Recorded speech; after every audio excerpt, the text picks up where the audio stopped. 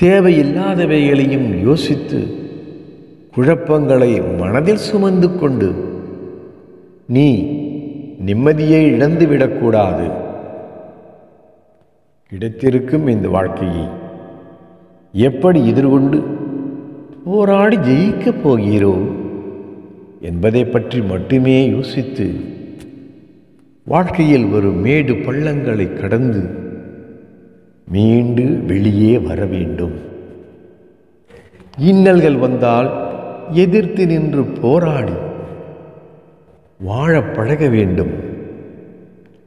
வாழ்க்கை என்னும் போராட்டக் களத்தில் உனக்கு நான் தீங்கு நேர விடமாட்டேன்.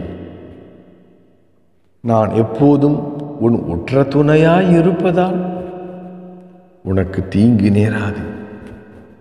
அப்படி எந்த தீங்கும் நேராமல் நடத்தி செல்வேன்.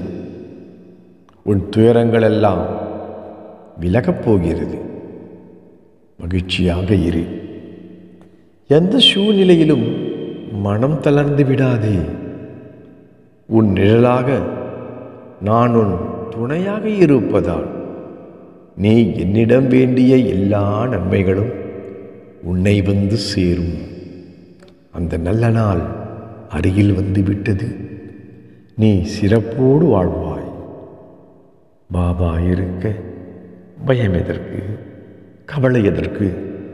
பாபா சரணம். ஓம் சாய்